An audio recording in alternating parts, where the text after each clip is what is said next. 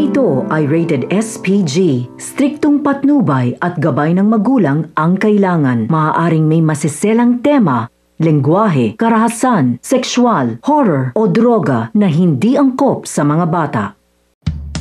Hi world, it's time. Ito ang Instagram caption ni Janela Salvador matapos niyang i-reveal ang kanyang baby. Tama, tama, tama po. Confirm na confirm guys, Janela Salvador, ipinakilala na sa publiko ang kanyang baby.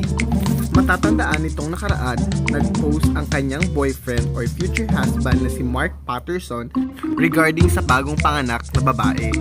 Maraming speculation guys at marami rin nagsabi na si Janela daw ito at marami namang nagsabing hindi.